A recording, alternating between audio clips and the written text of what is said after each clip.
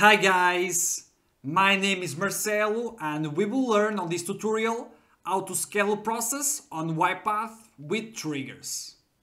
The only requirement to follow this tutorial is to have a process added on UiPath Orchestrator. If you don't have, I suggest to see the video that will appear now on the top where we'll learn how to add a process on UiPath Orchestrator. So first let's select our shared folder and then let's click on automations and here let's select the option triggers. And now to create a new trigger, let's click on the button add a new trigger. And as we can see, we have two types of triggers. So first, what's a trigger? A trigger basically allows us to create a schedule to launch the processes automatically. So by this way, we don't need to launch them manually from Orchestrator. And as we can see, we have the time trigger and the queue trigger.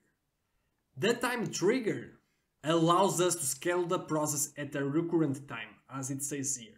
So for example, we can say that we want to run the process at every Monday, Sunday and Friday, for example, at every hour. So it's a schedule based on the recurrent time.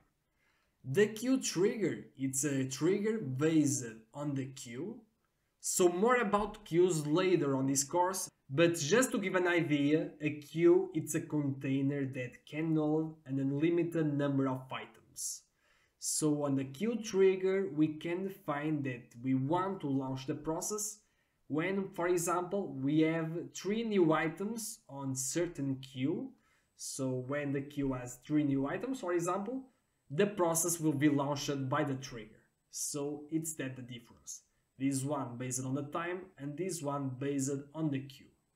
So let's create a trigger based on the time, so a recurrent time. So first we have to define the trigger name. So let's enter here, for example, schedule underscore first underscore orchestrator underscore process. And now that we have defined the name, we have to define the process that we want to launch from this trigger. So let's select our process and now here we can define, for example, a specific machine where we want to launch the process, but as we just have only one, let's leave here any machine and also any user robot. So here we will create the role. So here, for example, we can say that we want to run our process every minute.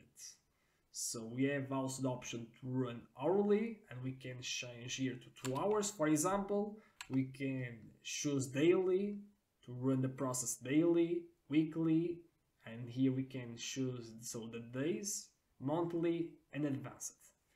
So to see the trigger working, let's define minutes, so uh, the process to run every minute. And now we just have to add. So let's click here. And now our trigger is created and as we can see the next runtime in a few seconds. So we will see that our process will be launched automatically by this trigger. So let's just wait a bit.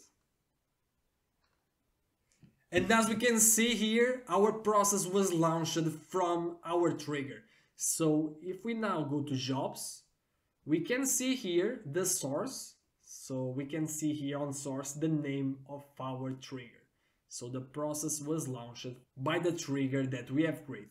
So let's close the message box and now let's click on triggers and let's disable the schedule because if we don't disable it, the process will run every minute. So to disable the trigger, it's very simple. Let's click here on the three dots and let's choose the option disable and now our schedule, our trigger, it's disabled. So, if you like this video, smash the like button and also don't forget to subscribe to the channel so you don't miss any more UiPath tutorials.